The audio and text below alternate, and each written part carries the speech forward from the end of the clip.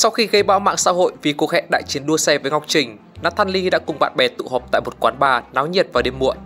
Có vẻ như ông Hoàng bất động sản cảm thấy không vui vì không thể có một cuộc đại chiến đúng nghĩa nên quyết định lên bar giải sầu.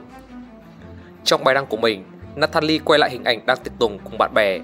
Không khó để nhận ra xung quanh Nathan Lee đều là những bạn bè thân thiết đang quẩy theo nhạc.